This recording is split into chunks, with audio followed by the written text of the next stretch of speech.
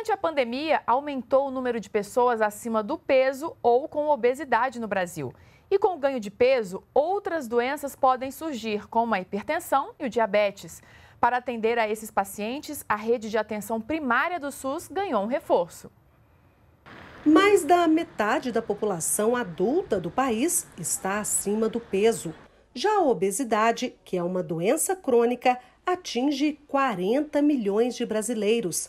Carlos Henrique se encaixa nesta estatística. A obesidade mórbida é uma doença e que a gente tem que tratar de forma é, paulatina. E nesse período atípico de quarentena, a mudança de rotina e alimentação pode trazer riscos, como explica esse médico.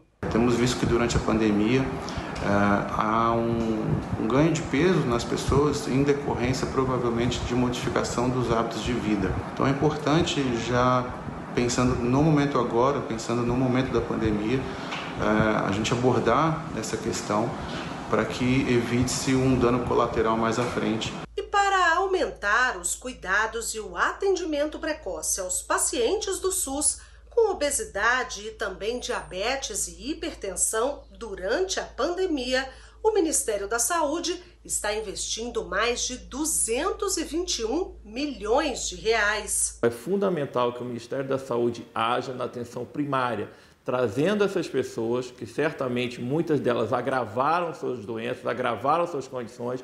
No total, 5.505 municípios receberão o dinheiro. A ideia é que a utilização desse recurso seja para aumentar a adesão ao tratamento das pessoas com doenças crônicas, considerando a realidade local, a estratificação de risco, a vulnerabilidade social e a logística do território. E para manter a saúde e o peso adequados, vale aquela receita dos especialistas uma boa alimentação aliada a exercícios físicos. Os exercícios físicos aeróbios são os mais recomendados, como andar de bicicleta, fazer uma caminhada,